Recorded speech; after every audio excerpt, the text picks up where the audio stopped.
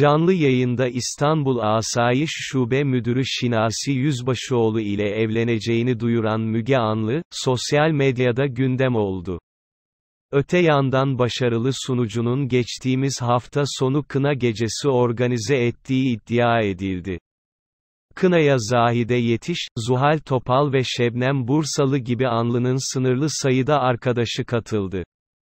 Haberimizin detaylarına geçmeden önce bir saniye videomuzu beğenip kanala abone olursanız beni çok mutlu edersiniz Müge Anlı, ATV ekranlarında yaptığı programla, reyting rekorları kırıyor.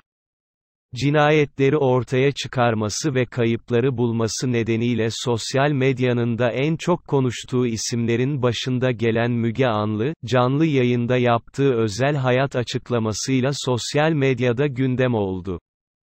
49 yaşındaki Müge Anlı, canlı yayında evleneceğini açıkladı.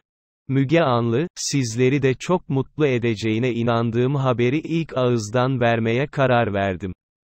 Evlenmeye karar verdim. Herkes evleniyor, çok abartmaya gerek yok. Ama mutlu olacağınızı biliyordum.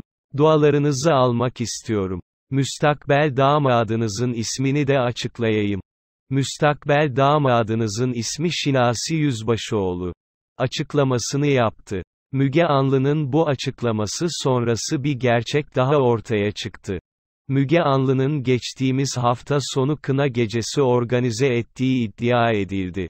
Taze magazinde yer alan habere göre, Anlı'nın kına gecesine Zahide Yetiş, Zuhal Topal ve Şebnem Bursalı gibi sınırlı sayıda dostunun katıldığı öne sürüldü.